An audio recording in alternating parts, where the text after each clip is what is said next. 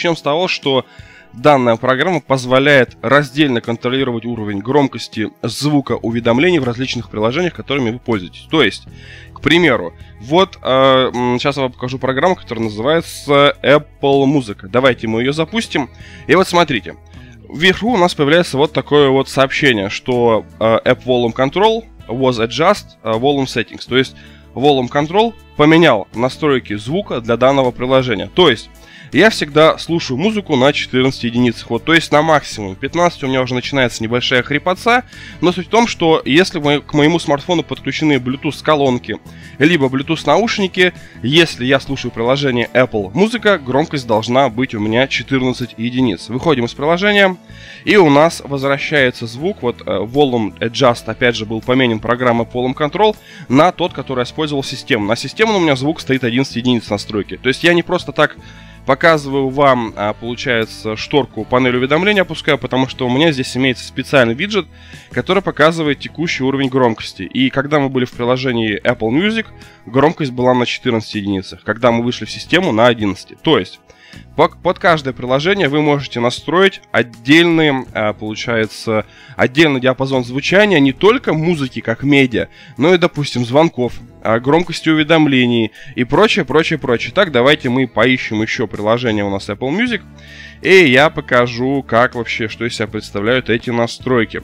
Итак, Apple Music, проходим, и вот смотрите, а, когда у меня подключены, а, получается, стандартные динамики моего смартфона, он спикер, у меня громкость выставляется на 93%, но еще раз говорю, это 14 единиц по тому виджету.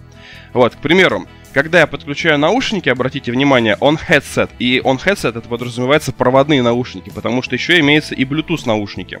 Когда я подключаю проводные наушники, я использую наушники от компании Xiaomi, но, блин, там звук, во-первых, мне кажется очень чистым, во-вторых, очень громким. И поэтому я выставляю на 73%. 73% это 9 единичек. То есть 9 единичек согласно вот этому виджету. Но это для того, чтобы не вырви уши, чтобы и мозг не лопнул, и музыку было слушать приятно. И точно так же мы видим он Bluetooth, у меня стоит специальный пресет Use on Speaker. То есть, когда я подключаю Bluetooth устройство, те же самые Bluetooth колонки, у меня звук восстанавливается таким же образом, как он должен по умолчанию звучать в динамиках. Это, это 14 единичек. На словах, может быть, звучит не очень понятно, но я про эту программу написал отдельную статью, потому что ну, программа действительно достойна уважения, внимания. И таким образом, вот где вы поставите галочку, а данное, получается, приложение, к примеру, App Manager 3, будет теперь мониториться программы App Volume Control. То есть данной программе нужно разрешение на мониторинг деятельности, активности других приложений. Но когда вы первый раз запустите, у вас выскочит системное, получается, уведомление, что можно ли этой программе разрешить отслеживать запуск других приложений. Разрешаете? После чего вот программа таким образом работает. И самое главное, что ее нету в панели уведомлений, нету никакого демона. То есть она работает в фоне, ресурсы сильно не кушает, и при всем при этом под каждое конкретное приложение у вас будут свои настройки. То есть если вы, как и я, любите слушать музыку, если у вас много музыкальных проигрывателей, много программ для просмотра фильмов, э, кодик, к примеру, VLC Player, в каждом проигрывателе свои настройки, более приемлемы под те или иные устройства, к примеру, под Bluetooth наушники, проводные наушники, колонки.